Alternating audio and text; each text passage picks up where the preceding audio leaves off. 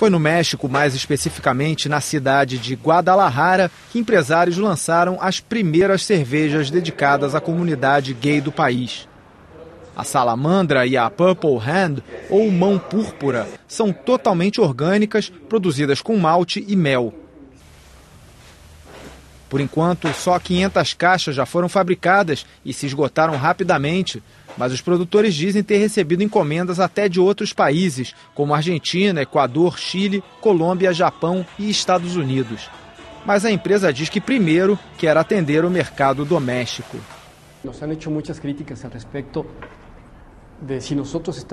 o empresário conta que eles foram criticados por não incluir heterossexuais no público-alvo e confirma que os produtos são totalmente direcionados à comunidade gay e lésbica. Nunca tiveram a intenção de que os chamados bugas, os heterossexuais, também bebessem o produto. Nos cálculos da empresa Minerva, que produz as novas cervejas, o mercado homossexual da cidade do México, Riviera Maia e de Puerto Vallarta movimenta cerca de 8 bilhões de dólares por ano.